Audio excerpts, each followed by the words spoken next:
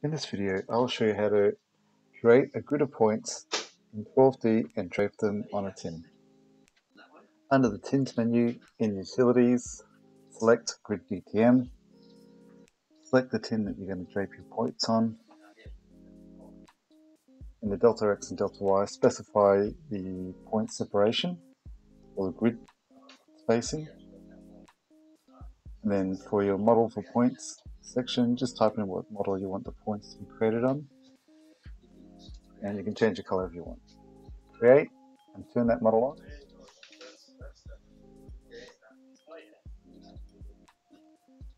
And there you go.